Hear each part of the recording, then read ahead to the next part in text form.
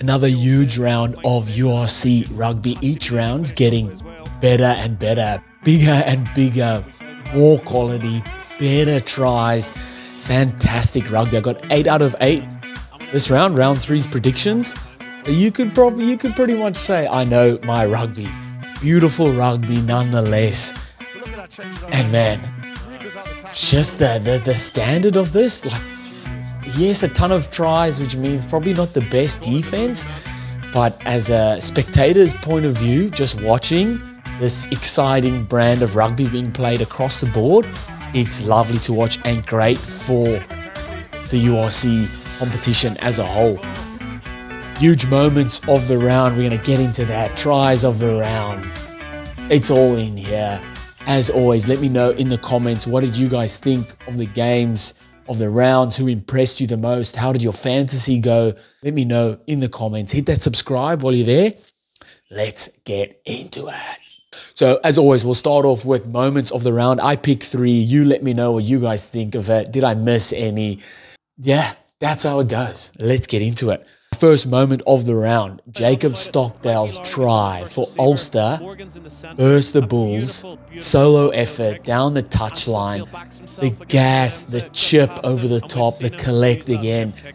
And that's a Jacob Stockdale of old. The vintage Jacob Stockdale loves a try down the touchline, chip over the last defender, collect again, and score. Beautiful, beautiful solo effort there. Second, Rabz Maxwane from the Lions, the winger, elusive, fast, scored his hat trick. Oh man, off the back of beautiful play from the Lions, they went out to a massive lead at halftime of 48 to zip. But Rabz Maxwane, man, elusive, fast, quick, just out and out try scoring ability of this man is through the roof and scored three of the absolute best. In number three, my last moment or third moment of the round was the Sharks to come back from behind to score in the 84th minute to win. How big is that? A huge effort from them away from home in the 84th minute, scoring under the post to clinch that win. That wraps up my three moments of the round. Let me know what you guys thought of that. What do you think was your moment of the round? Did I miss some? Let me know in the comments. And let's get to quick recap of round three. So round three kicked off with a huge game, Glasgow versus Cardiff, 53 to 36. Look, defense on this game was an option. An option not taken by most, but still beautiful scoring, running rugby tries galore. Jamie Dobie with another beautiful try, same as last week, just his nippiness around the ruck as a scrum half, you really want you want that, or as a team, you want that from your scrum half, the ability to pick up from the ruck and dart through. Whenever he sees half a gap, he busts straight through there. He was really good for Glasgow.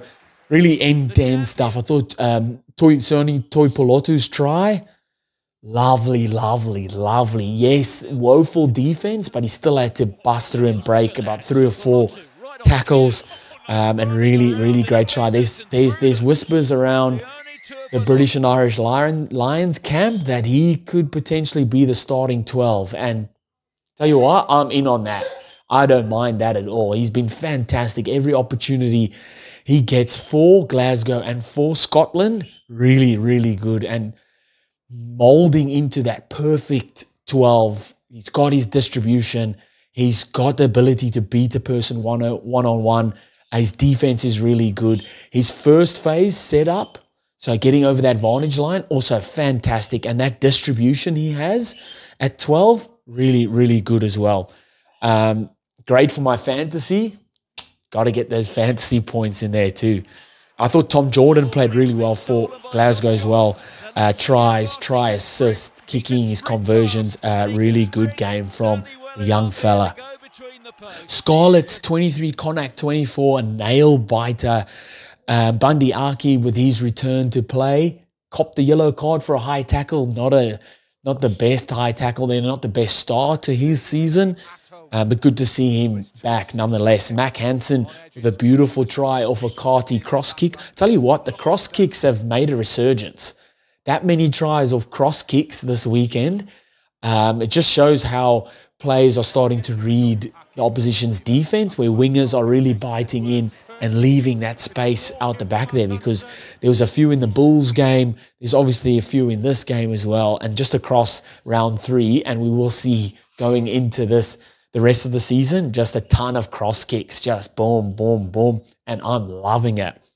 Good away win there for Connacht. Then we move over to Lions versus Edinburgh. 48 0 at half time, the Lions were. That is why the biggest score at half time ever in the URC history. Full time score 55 to 21. Man, this Lions team is about to be a proper handful going into the rest of the season. At least while they're playing at home and at altitude, that Johannesburg heat really causing troubles for opposition. But man, just their finishing ability they have in the back line. Edward van der back. He grabbed the double. Rabz Maxwane on the other wing. He got his hat trick. Quan Horn at back and fullback. He scored a try as well. But just those guys, their, their finishing ability that those guys have. But then they also they just their ability to back themselves, man, or just their that instinct they have to back themselves. Whoever the head or the backline coach is there or their attack coach, hats off to you, man, because he's obviously just told these guys whatever thing you see, any opportunity you see, back yourself, man. And then these guys have the ability to execute those plays. Um, obviously, you've got guys like Cade Wallater and Fly Off um, calling the shots, kicking his conversions as well, and really playing well with ball in hand. Um, and then guys like Francke Horn and JC Pretorius in the forwards that are just, and it's like playing with an extra backline player, but then they've got that ability to to run over the top of you, to hit those rocks, to make all those tackles as well. So this Lions team, watch out, watch out. They go 2 and 0 to start the season. Um, Bulls versus Ulster 47 to 21. 13 Springboks in the Bulls start or 23 match day squad. And it's always going to be a tough ask for Ulster. We talk about Stockdale's try. Was in my moment of the round, man. Just that solo effort from past halfway, gets around Kurt-Lee Arendse, and then chips over the top of Willie le Get out here. What a try. Um,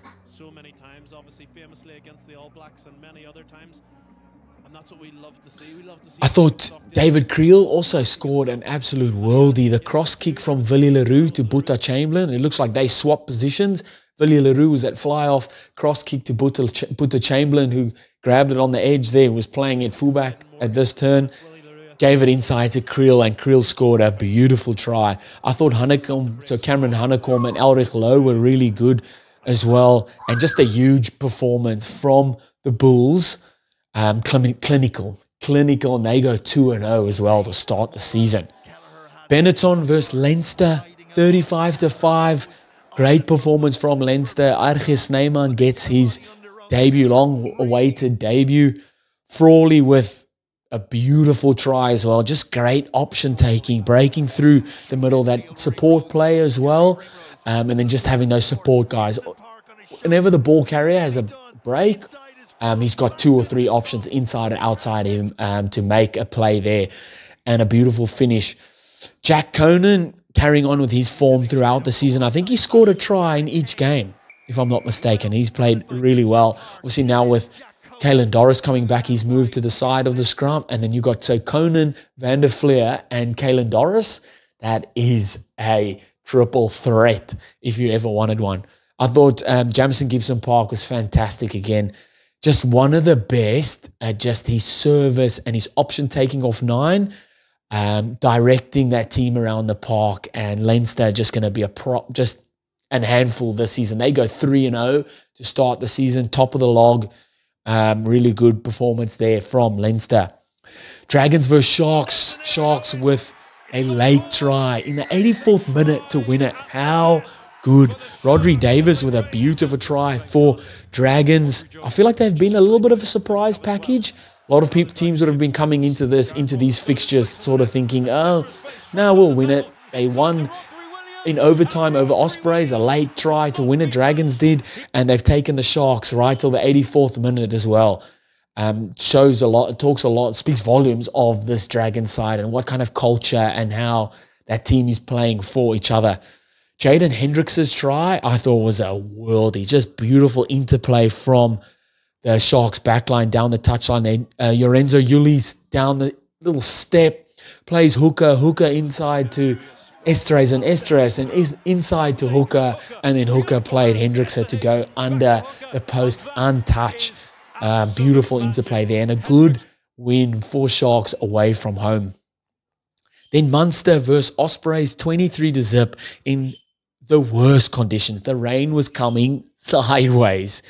Um, quickest try in URC history. I think it was 13 seconds. Shane McCarthy off the kickoff. Ospreys player coughs it up and he jumps over to score 13 seconds from kickoff. That is wild.